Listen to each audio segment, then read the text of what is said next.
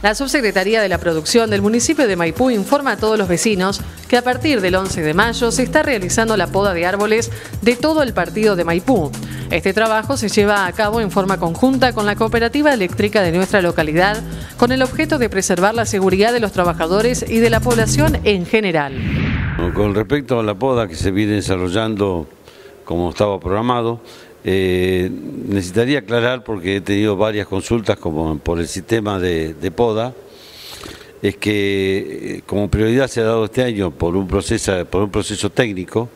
eh, ustedes van a notar que en determinadas calles hay una poda más extrema que, en otros lugares. bueno, eso se debe a un pedido de la cooperativa eléctrica con respecto a las calles que vienen con las líneas de mediana y alta tensión. Eh, eso tiene un principio técnico de hacer ese tipo de poda por problemas de seguridad, como entenderán, eh, tan cerca eh, las ramas de, la línea pueden causar alguna descarga y también por la baja de tensión y otros tipos de inconvenientes técnicos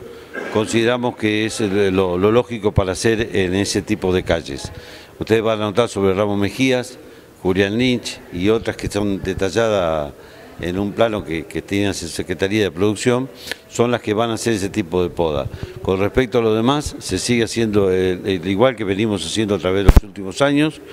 que es una poda alta. Eh, como es habitual, eh, cuando se tenga la fecha de poda para la localidad de Las Armas y Santo Domingo, eh, va a ser transmitido por los medios públicos para poder establecer así, concentrar todos los reclamos que tenga la ciudadanía de esas dos localidades.